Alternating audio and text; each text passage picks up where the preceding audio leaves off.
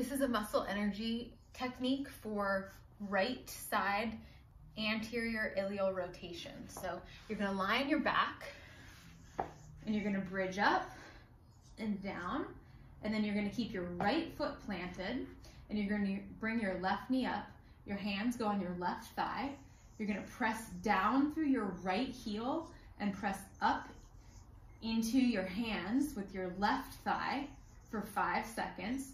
So five, four, three, two, one, relax. And you're gonna do that five times total. Your hips can stay on the ground.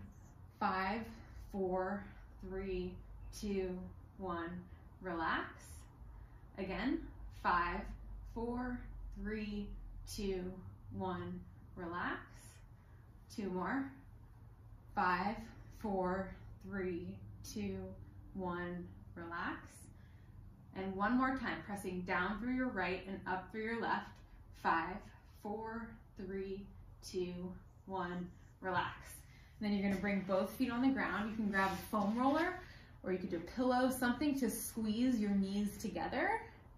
And you're gonna squeeze your knees into the foam roller for five, four, three, two, one, relax. And you're gonna do it five times total.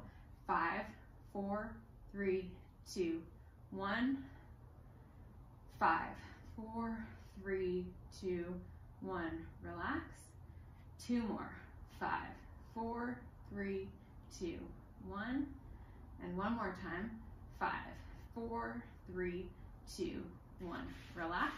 And then you're gonna bridge up again, and that's it.